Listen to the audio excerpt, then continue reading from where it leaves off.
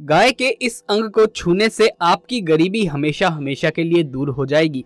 कौन सा है वो अंग? जानेंगे आज के इस वीडियो में। इसी के साथ मैं आपको बताऊँगा दोस्तों कि आपको गाय को क्या वो चीज़ खिला देनी चाहिए, जिससे आपको 33 करोड़ देवी देवताओं का आशीर्वाद मिलेगा। और साथ ही हम जानेंगे कि कौन सी वो चीज़ है जो आपको गाय को खिलाने की गलती नहीं करनी चाहिए। तो पूरी जानकारी के लिए इस वीडियो को अंत तक ज़रूर देखिएगा। नमस्कार दोस्तों, स्वागत है आप सभी का एक बार फिर से। दोस्तों, सच्ची श्रद्धा से कमेंट्स में ज़रूर लिखें हर हर महादेव, जय श्री कृष्णा।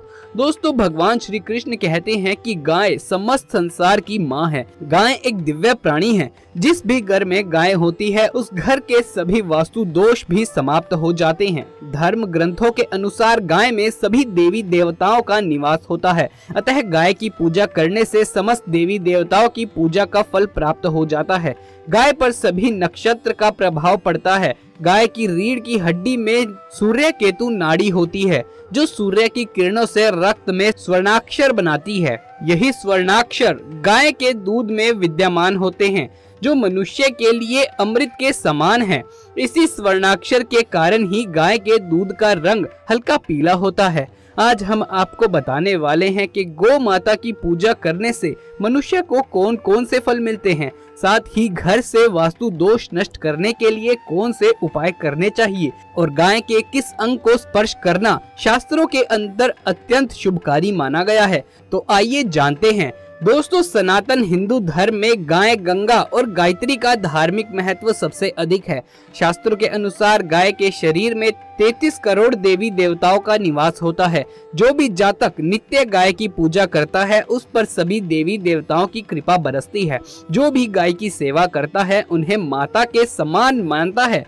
गौ माता उस पर आने वाले सभी संकट, सभी विपदाओं को हर लेती है। गौ माता कामधेनु है। समस्त प्रकार के कष्ट हरने वाली है और जातक की हर मनोकामना को पूर्ण करने वाली है। कहा जाता है कि सूर्यास्त के पश्चात जब गाय वन से घर पर लौटती है तो उसके खुरों से जो धूल उड़ती है, उससे मनुष्य के सभी पाप धुल जाते हैं। अगर व्यक्ति क्रोधी है, पढ़ाई में कमज़ोर है, बोलने में असमर्थ है तो वो व्यक्ति को गौ माता को हरा चारा ज़रूर खिलाना चाहिए। इससे बुध ग्रह की दशा भी ठीक हो जाती है और सभी दिक्कतें दूर होने लगती हैं। गाय का दान करना अत्यंत ही शुभ फलदायक माना जाता है। अगर मंगल की दशा खराब हो तो किसी गरीब ब्राह्मण को अथवा गरीब व्यक्ति को गौ दान अवश्य करें। अगर नव ग्रहों की शांति और शनि की दशा ठीक करनी है तो काली गाय का दान अवश्य करें। इससे सभी कष्टों से मुक्ति मिलती है और शनि देव की कृपा से सब कुछ ठीक हो जाता है। अगर कोई कार्य रुका हुआ है कितने ही प्रयास करने पर उसमें सफलता नहीं मिलती है। तो मनुष्य को गौ माता को रोटी खिलाकर उनके कान में अपनी मनोकामना अवश्य कहनी चाहिए। गाय की नियमित पूजा करने से माँ लक्ष्मी प्रसन्न होती है और घर की आर्थिक स्थिति में मजबूती हो जाती है। गर्मियों के दिनों में द्वार पर आई गौ माता को पानी अवश्य पिलाएँ। ऐसा करने से व्यक्ति को सभी प्रकार के रोगों से मुक्ति मिलती है। सर्दियों के दिनों में गौ माता को गुड़ अवश्य ही खिलाएँ, लेकिन गर्मियों के दिनों में गुड़ ना खिलाएँ। अगर पितृ दोष दूर करना चाहते हैं तो गौ माता को अमावस्या के दिन रोटी, गुड़ और चावल अवश्य खिलाएँ। ये फ़ायदेमंद रहता है। इससे सभी पितृदोष समाप्त हो जाते हैं। साथ ही गौ माता की पूजा से नवग्रह की भी शांति हो जाती है। अगर बच्चे कहना नहीं मानते उनका स्वभाव क्रोधित है और बात बात पर गुस्सा हो जाते हैं तो किसी दिन द्वार पर आई गौ माता को उनके हाथ से लगा हुआ भोजन अवश्य खिलाएँ। गौ माता की पीठ पर एक उभरा हुआ कुब्बड़ होता है। उस कुब्बड़ में सूर्य केतु नाड़ी होती है। रोज़ाना सुबह गौ माता की इस कुब्बड़ पर हाथ फेरने से मनुष्य की सभी मनोकामनाएँ पूर्ण होती हैं। उसके सभी आर्थिक संकट भी दूर हो जाते हैं और गरीबी का नाश होता है। इसके साथ ही उसके सभी रोगों का भी नाश हो जाता है।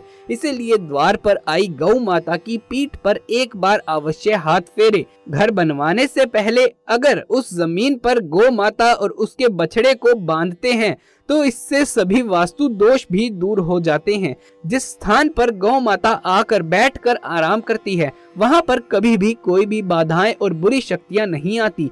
ध्यान रहे, घर में बनी सबसे पहली रोटी गौ माता के लिए बनाएँ और गौ माता को अवश्य ही खिलाएँ। इससे परिवार में सुख शांति बनी रहती है और कलेश दूर हो जाते हैं। गौ माता के गोबर से बने उपलों से रोज़ाना घर, दुकान, मंदिर, परिसर पर धूप करने से वातावरण शुद्ध हो जाता है।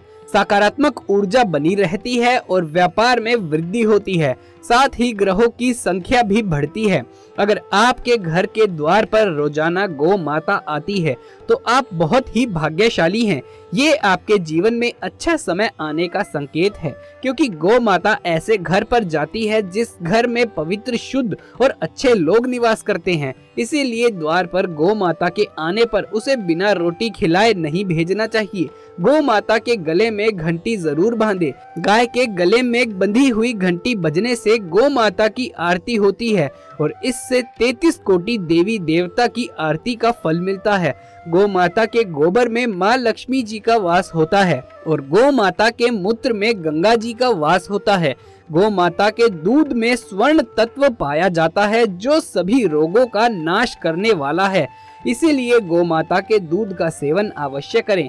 तन, मन, धन से जो मनुष्य गो माता की सेवा करता है, वो मृत्यु के पश्चात वैतरणी गो माता की पूछ पकड़कर नर्क को भी पार कर जाता है, क्योंकि अकाल मृत्यु नहीं होती है और उन्हें गोलोक धाम में वास मिलता है। जिस व्यक्ति के भाग्य की रेखा सोई हुई होती है तो वो व्यक्ति अपनी हथेली में गुड़ को रखकर गौ माता को जीभ से चटाए गो माता की जीभ हथेली पर रखे गुड़ को चाटने से व्यक्ति की सोई भाग्य रेखा खुल जाती है।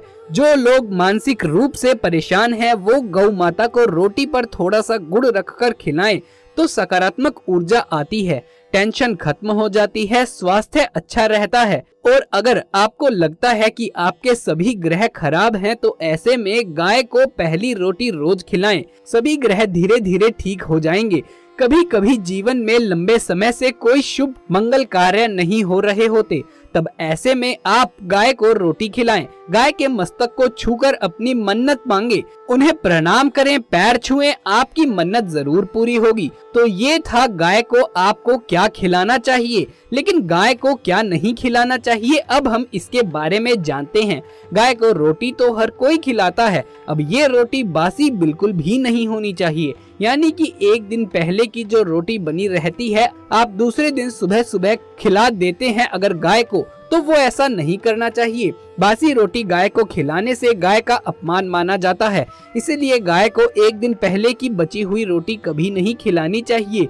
सड़ी गली चीज़ें, खराब चीज़ें, गाय को मत खिलाएँ। इससे घर में परेशानी आती है। अगर आप ऐसा करते हैं तो अपनी आदत को बदल लीजिए, क्योंकि इससे घर में तकलीफ़ आती है। गाय को हरा चारा तो हर कोई खिलाता है। हरा चारा आप खिलाते समय एक बात का ध्यान रखें कि गाय को सबसे ज़्यादा पीपल का पत्ता लोग खिलाते हैं, पर पीपल का पत्ता आप खुद से तोड़कर मत खिलाएँ। अगर पत्ता खुद से टूटा हुआ है तो आप वो ले सकते हैं, लेकिन पीपल का पत्ता तोड़ने से पाप लगता है। इसके अलावा दोस्तों, जब भी आप घर में सब्ज़ी लाते हैं तो साथ में जो साग आता है तो उसमें से अच्छी चीज़ें तोड़कर बचा हुआ आप गाय को ना खिलाएँ। उसमें या तो साथ में गुड़ डालें या रोटी के साथ आप खिलाएँ तो ज़्यादा फ़ायदा होगा। दोस्तों, गाय को दूध नहीं पिलाना चाहिए। आप दही, चावल खिला सकते हैं, लेकिन दूध ताज़ा हो या बचा हुआ भूल कर भी गाय को मत पिलाएँ। तो दोस्तों, ये थी वो चीज़ें जो गाय को नहीं खिलानी चाहिए। नहीं तो घर में गरीबी आती है। माँ लक्ष्मी आपके घर में निवास करना छोड़ देती है। तो दोस्तों, ये थी आज की वीडियो। अगर ये वीडियो आपको अच्छा लगा हो तो इसे एक लाइक करें। हमारे चैनल को सब्सक्राइब करके पास वाले बेल आइकन को दबाना बिल्कुल भी ना भूलें। कमेंट्स में जय माँ लक्ष्मी, जय श्री कृष्ण लिखें। आगे मुलाकात होगी किसी अगली वीडियो में। तब तक के लिए आप सभी का धन्यवाद।